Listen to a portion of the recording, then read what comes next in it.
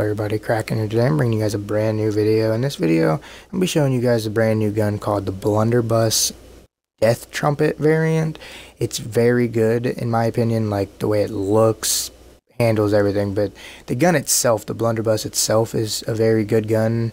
In my opinion, shotgun, like close range, it's really good. It's not like the TAC-19 where you can get them long range kills because there's a lot of spread on it, but close range, it'll almost definitely kill in one hit every time.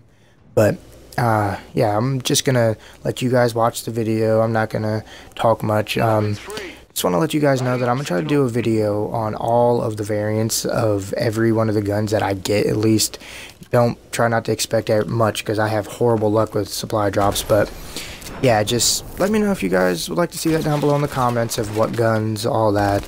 And please enjoy this little bit of a gameplay. Um, if you do, please like, comment, and subscribe for more. And peace.